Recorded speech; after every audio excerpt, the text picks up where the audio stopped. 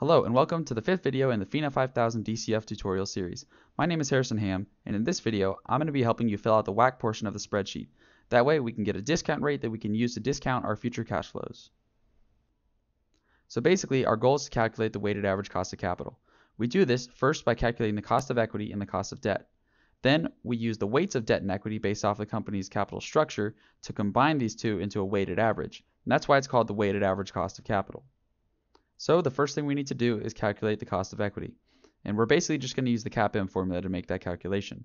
So CAPM basically states that the cost of equity is equal to the risk-free rate plus beta times the equity risk premium. And all three of these things are things that we can actually just look up ourselves. So first we're going to look up the risk-free rate. And as a proxy for the risk-free rate, we're going to use the yield on a treasury bond. So the question is though, which treasury bond should we use? So first go and look up the yield curve, which you can find either at treasury.gov or a similar website. And it'll show a table that looks something like this, which basically shows what the yield curve looks like across the past couple days. So then which bond exactly should you be using as your risk-free rate? Well, you're going to want to use something that matures at the middle to end length of your forecast. So for example, in this forecast that I've been doing in the tutorial, we are projecting out the next five years. So we would want to use either a three-year bond or a five-year bond as our proxy for the risk-free rate. But if you're projecting out, say, 10 years, you might want to use a 7 year or a 10 year rate because you're projecting further and further into the future, so the risk free rate changes slightly because of that. But for the purposes of this tutorial, we're just going to use a 3 year treasury bond as our proxy. So we see that the percentage is about 0.44% for the risk free rate. So we're going to go straight back to our sheet and we're going to type in 0.44%. Make sure you type the percentage afterwards. Otherwise, it might think that you mean 44% instead of 0.44% which obviously is going to throw off your calculations if you make that mistake. Next, we're going to look up our company's beta and also the equity risk premium. So we can actually find these numbers straight off the overview snapshot page within FactSet. So just look up your company, go to the snapshot page, then the top right, it'll have this box of key statistics, including their calculation for the weighted average cost of capital. So you can click on the little blue link right next to it where it actually lists the weighted average cost of capital to see a breakdown of how they calculated it. Then you can expand this box that says cost of equity. And looking through it, you can see that they have a three-year adjusted beta and the market risk premium right here. If you wanted to go more in depth, you could calculate these numbers on your own. But for the purposes of this tutorial, you can actually just strip these numbers straight out of FactSet and put them into your calculation. So we see that the three-year adjusted beta is 1.15 and the market risk premium is 4.72%. So we can take those numbers and just go ahead and put them right back into our spreadsheet, 1.15 for the beta and 4.72% for the equity risk premium. Then all we have to do to calculate the cost of equity is use our CAPM formula, which is that the cost of equity equals the risk-free rate plus the company's beta times the equity risk premium. And we get that the cost of equity is 5.87%. Next, we need to calculate the cost of debt, which we're going to do by taking the before tax cost of debt and then we are going to multiply that by 1 minus the tax rate in order to get our after-tax cost of debt. Now the straight up cost of debt we can actually again draw straight from FactSet in the exact same spot that we got the cost of equity. We can come down here and find the after-tax cost of debt and we find their before tax cost of debt right here once you expand it which they say is 2.24%. So we can go back to our sheet, type in 2.24% and then now for the tax rate, we're actually not going to use the same tax rate as what FactSet claims. We're going to use the tax rate that we actually calculated in our assumptions in order to be consistent across our entire sheet. So you can go back to the free cash flow sheet and then reference this effective tax rate that we calculated in one of the earlier videos. And then now to calculate the after-tax cost of debt, we just do equals 1 minus the effective tax rate times the before tax cost of debt to get an after-tax cost of debt of 1.59%.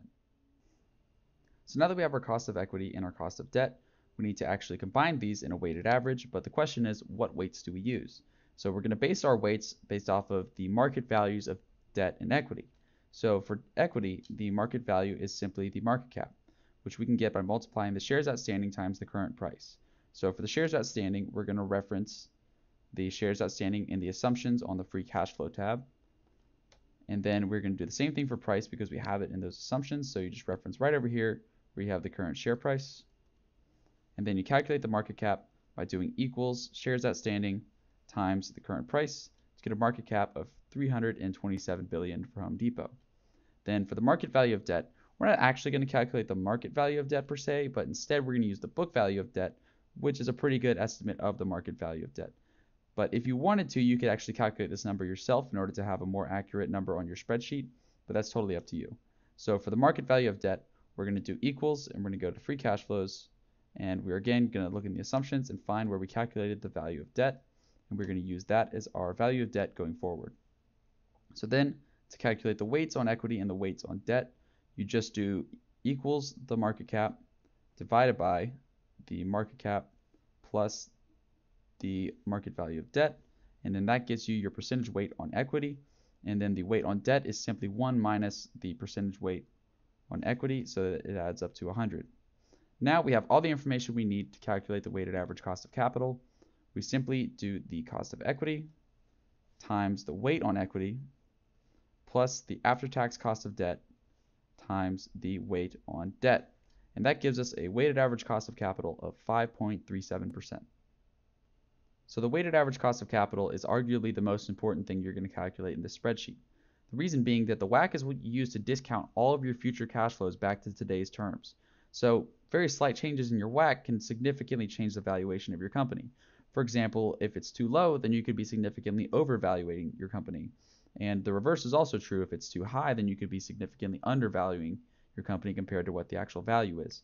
So in order to do a little bit of due diligence, we're going to calculate the WACC in a slightly different way. That way we have two numbers to base our WACC off of instead of just using one. Because just calculating one number, there can be a lot of variability in it and it can cause a lot of problems where your valuations won't really make a whole bunch of sense. So the second way that we're going to actually calculate our weighted average cost of capital is using what's called a hurdle rate. So a hurdle rate basically assumes that equity investors require a 10% return on their investment when they invest in this company. And the reason for making that assumption is that the cost of equity is actually literally the required return that investors need when they invest in this company. So if we assume that they need a 10% return, then our cost of equity is going to be 10% instead of the 5.87 that CAPM would imply from our previous calculations. So now when we calculate our hurdle WACC, we're going to replace this cost of equity with our 10% hurdle rate. So we basically do the exact same calculation, except we replace the cost of equity with the hurdle rate. So we do the hurdle rate times the weight on equity plus the weight on debt times the after-tax cost of debt to get our second WACC using the hurdle rate of around 9%. So this is very different from the WACC that we calculated previously, so it shows that very slight differences in the cost of equity are very important for this company, which shows why it's very important that we actually use this hurdle rate in order to get a different WACC so we have a different idea of what exactly our best WACC could be for our calculations.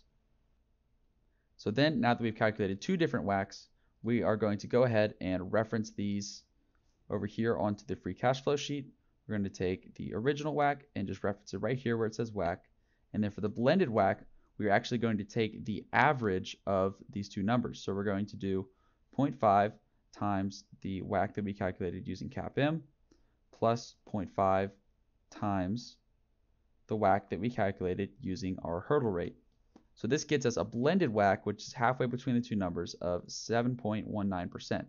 And the reason for blending them both together, it makes it so that you get a more generalized WACC, something that's not on either extreme. It's not too large, it's not too small, it's hopefully right in the good range where you're going to end up valuing your company at a pretty fair value.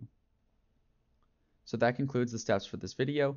In this video, we calculated the weighted average cost of capital using data that we got from FactSet, and then we also calculated the weighted average cost of capital using a hurdle rate, and then we blended the two WACCs together in order to get a more generalized measure of the weighted average cost of capital. In the next video, we're going to actually use this weighted average cost of capital to start discounting our cash flows, and we will use the perpetuity growth method in order to actually get a price calculation for our company. Thank you again for watching this video, and I'll see you in the next one.